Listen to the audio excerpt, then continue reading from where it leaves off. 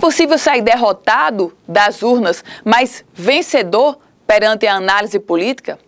É possível sim. E quem conseguiu isso foi o deputado estadual Fernando Mineiro, do Partido dos Trabalhadores. Há quem diga que ele é o grande vencedor do pleito 2012. Também não vamos exagerar.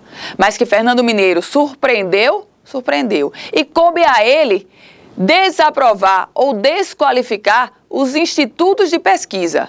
Todos eles. Afinal de contas, nenhum instituto conseguiu chegar à votação que Fernando Mineiro, na prática, conseguiu no último domingo. O deputado estadual do PT foi o grande fiel da balança para levar a eleição de Natal ao segundo turno. O deputado estadual do PT atirou na trave quase que chegava ao segundo turno. A campanha do deputado estadual Fernando Mineiro chamou atenção, ganhou musculatura e prova está aí com a expressiva votação que ele teve. Eu diria mais, com a votação mais expressiva que o PT em Natal conseguiu, se considerarmos o palanque de Fernando Mineiro.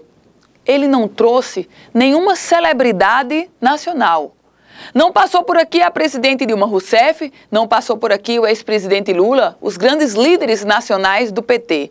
Fernando Mineiro fez uma campanha com o vice, o candidato a vice, Carlos Alberto, e com algumas participações da deputada federal Fátima Bezerra. Mas o mérito do desempenho de Mineiro nas urnas é dele mesmo é dele no momento em que fez uma campanha propositiva, se mostrou seguro nos debates e apresentou ao eleitor a que vinha ou a que havia sido proposto quando se colocou como candidato a prefeito de Natal. Mineiro é verdade, perdeu, está descartado para o segundo turno. Mas, na verdade, o desempenho dele, e leia-se, o PT de Natal sai sim fortalecido. E a expectativa agora é para saber para onde penderá o então fiel da balança.